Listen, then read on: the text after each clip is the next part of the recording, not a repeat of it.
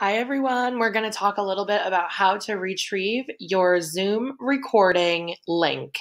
First of all, go ahead and open Zoom. You're going to come to a home screen that looks like this. Uh, right here, you're going to see two options upcoming and recorded, or something like that. It's going to look a little different to you than it looks to me. Let me get rid of all this clutter on my screen. Um, you're going to look for this recorded tab. So go ahead and click on that. And right here, you'll see all the webinars or Zoom rooms that I recorded are going to be listed right here. So here, as I highlighted, is your um, recording link URL. So with that, you can right click, click copy, and then you can take that URL and put it into an email, format it into a link in Google Sites, Google Classroom. Um, you can upload it into a document in Google Drive, or you can um, go to that link and download it, which I will show you now. So I've I've copied this link. Now I'm going to go to my web browser. I'm going to right click and paste that link and click enter to visit that link. This is going to show me my recording. As you can see here, this was the title of my Zoom room, Getting Started with Screencastify. Yours will, will reflect your title. And right here it says download three files. Now what that's going to do is download a file with the chat, a file with the Q&A, and a file with the video. I'm going to go ahead and click It'll ask me where I want to save. I'll just click my desktop for now. Click save. And this is going to ask you for the text file then. Just go ahead and click save.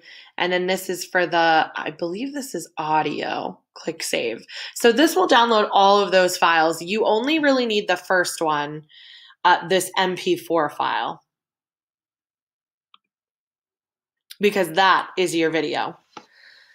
Uh, like I said, the text is the chat, I believe, and then this M4A, that's just your audio. So, really, like I say, you only need this MP4 file. But that's okay. Let them all download. Um, that's the only option you have, so that's all right. Then, wherever you chose to save it, in my case, the desktop, that's where it's going to live. So, then I'm going to find it. It's right here, how it comes up in your downloads it's going to look a little different for you if you're on PC, but I just click on this arrow and click show in finder. But like I say, wherever you save that file, for instance, your desktop, that's where it will live. Like right here is mine. Let's double click. Here's my video. And that's the beginning of my Zoom room um, webinar. Okay, so now I have this file. Now, what I can do is I can upload that to my Google Drive, for example, or to a YouTube page or what have you. So, if we do navigate to Google Drive, what you'll want to do, go up here, click on your waffle, Google Drive.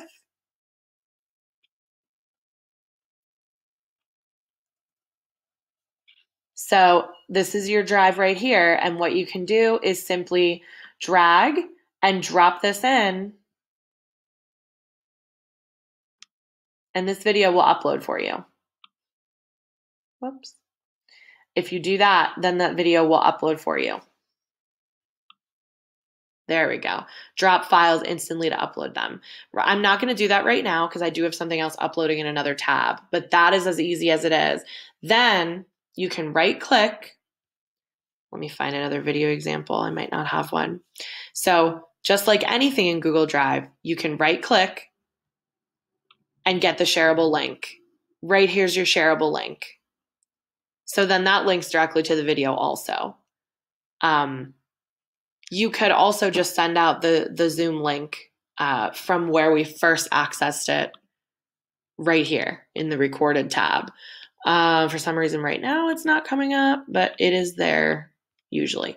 Right under your recorded tab, the link will be there.